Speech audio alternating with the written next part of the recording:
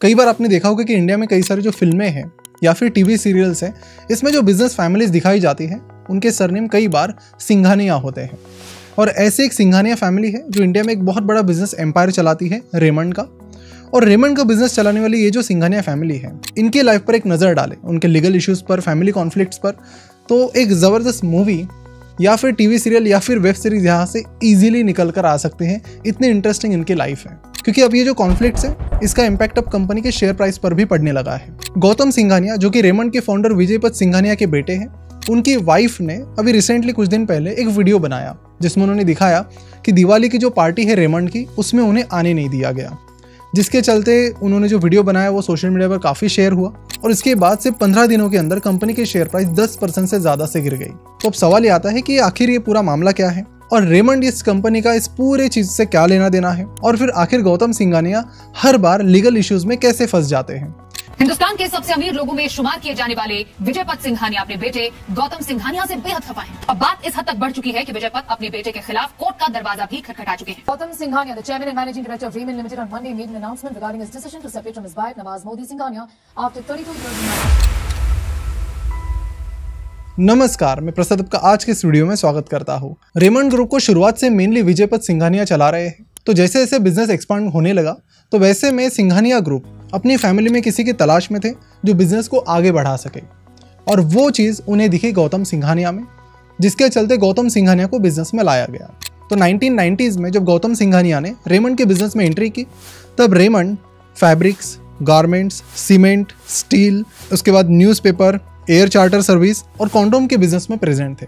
गौतम सिंघानिया को लग रहा था कि अगर हमें और तेज़ी से एक्सपांड करना है तो हमें कुछ ऐसे बिजनेसेस पर फोकस करना चाहिए जो आगे चलकर बहुत ग्रो होंगे और ऐसे बिजनेसेस जिसमें ज़्यादा ग्रोथ नहीं है, उन्हें बेच देना चाहिए।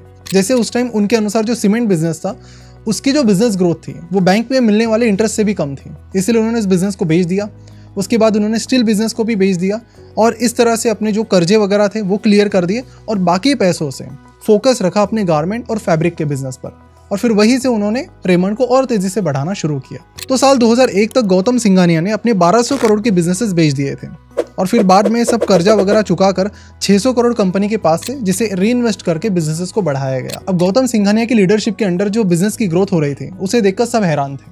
सबको गौतम सिंघानिया काफ़ी पसंद आने लगे एज ए लीडर और इसीलिए पूरी कंपनी की बागडोर उनके हाथ में दे दी गई कि अब आप ही कंपनी को चलाओ, जिसके चलते विजयपत सिंघानिया रेमंड के एमिरेटस चेयरमैन बन गए, यानी सम्मान के लिए नाम के चेयरमैन बन गए। इसी के चलते विजयपत सिंघाने ने यहाँ पर एक और चीज़ की, कि उनके पास अपना 37 परसेंट स्टेक था रेमंड का।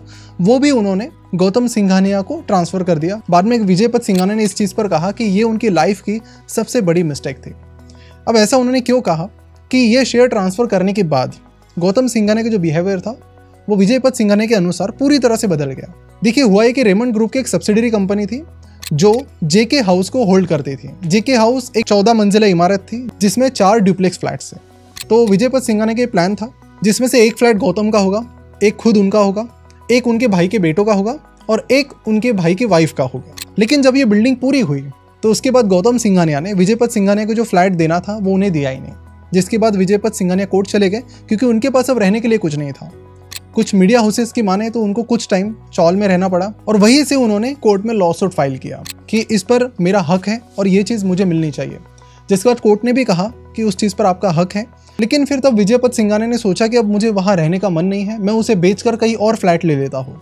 अब देखिए, वो जो प्रॉपर्टी थी एक्चुअल में, वो रेमंड ग्रुप की थी। तो अगर आपको वो फ्लैट बेचना है तो उसके लिए आपको रेमंड ग्रुप का अप्रूवल लेना पड़ेगा। अभी कंपनी का जो कंट्रोल है, जैसे ही गौतम सिंघानिया के हाथ में आया था, उन्होंने कंपनी का बोर्ड पूरी तरह से चेंज कर दिया था और ये जो प्रपोजल था विजयपत सिंघानिया का फ्लैट बेचने का, उसे इस बोर्ड ने रिजेक्ट कर दिया।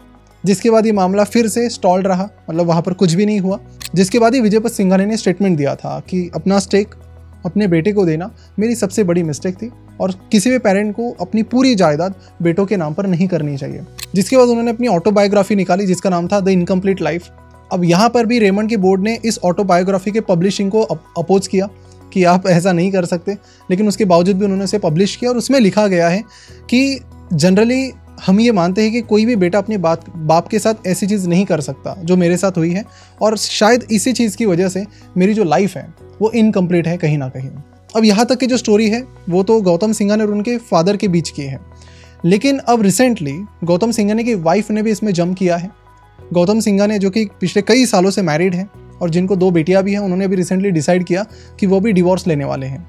जिसके चलते नवाज़ मोदी ने उन पर ये आरोप लगाए हैं कि उनका जो बर्थडे था नाइन सितंबर को, उसके बाद टेन सितंबर को नवाज़ मोदी और उनके एक बेटी के साथ मारपीट की।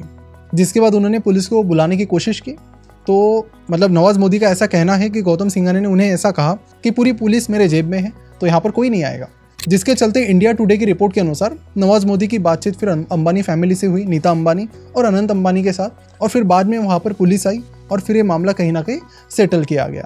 तो यहाँ पर अब नवाज़ मोदी का ये कहना है कि गौतम सिंघानिया की जो नेटवर्थ है वो करीब करीब ग्यारह हज़ार करोड़ की है। और नवाज़ मोदी अपनी दो बेटियों के लिए और खुद के लिए उसमें से 75 परसेंट की वेल्थ चाहते हैं।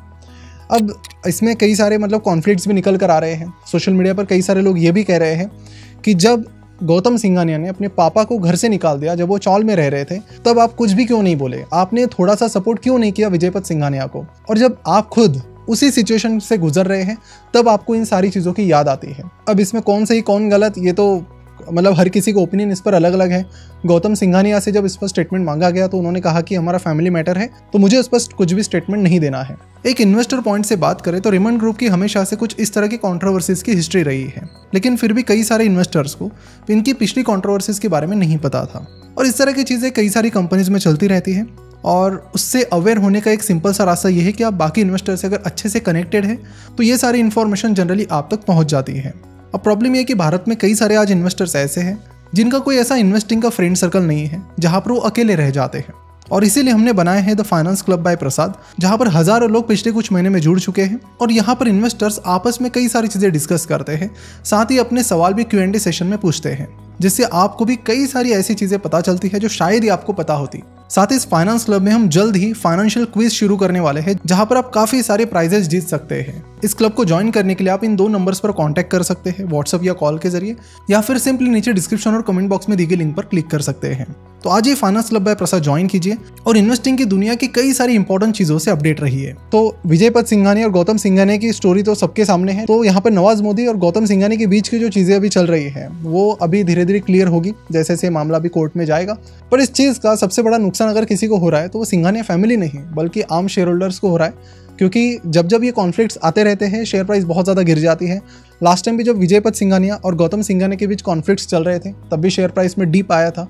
अब भी रिसेंटली ऐसा हो रहा है। तो अगर गौतम सिंघानिया की बात करें तो कई सारे लोगों का मानना है कि he may not be the complete family man लेकिन अगर हम उनकी बिज़नेस जर्नी की बात करें बिज़नेस चलाने के तरीके की बात करें तो कंपनी का जो रेवेन्यू है, वो तो स्लोली बढ़ रहा है, लेकिन कंपनी की जो प्रॉफिटेबिलिटी है, वो रिसेंट टाइम में बहुत ज़्यादा बढ़ गई है। पिछले पाँच साल में कंपनी की जो प्रॉफिट है, वो कंपाउंडेड सालाना 37 परसेंट से बढ़ा है।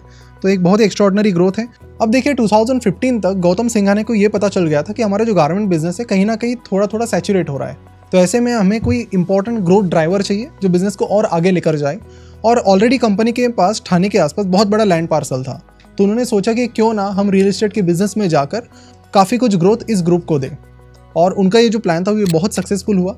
इनफैक्ट कंपनी का जो पिछले साल का रेवेन्यू था 8,300 करोड़ का उसमें से 1115 करोड़ का जो रेवेन्यू है वो रियल इस्टेट से आया है। और कंपनी की जो main profit growth recent time में हो रही है वो यही से आ रही है रियल इस्टेट बिज़नेस से। तो इस तरह का ये पूरा मामला है और अगर नवाज़ मोदी अपना ये केस जीत जाती है और गौतम सिंघानिया को अपना अच्छा खासा स्टेक नवाज़ मोदी को देना पड़ता है तो फिर कंपनी के मैनेजमेंट में चेंजेस आपको दिख सकते हैं।